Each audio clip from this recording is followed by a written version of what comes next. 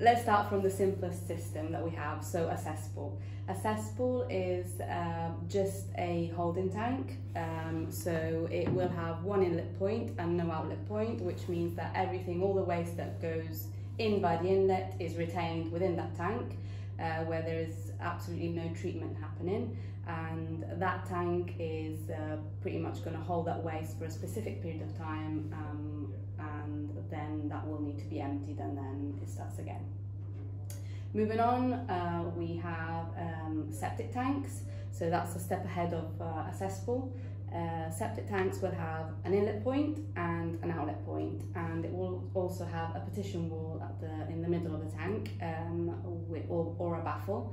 Uh, and what that baffle that does is that when the incoming waste comes in, it retains the solids within the primary chamber of the tank, leaving the effluent or the liquid part, uh, if you will, uh, going into the second chamber and then going out of the outlet point to a drainage field.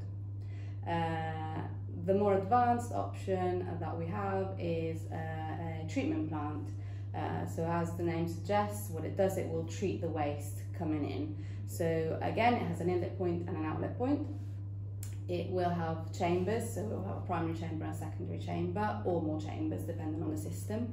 Um, so we have the incoming waste and uh, after that we have the we introduce ox oxygen into the tank and that oxygen will keep the bacteria alive that will naturally grow in the waste um, and then uh, the solids will be retained in the tank leaving the effluent so the treated water uh, going out of the tank from the outlet point uh, either to a drainage field or to a watercourse.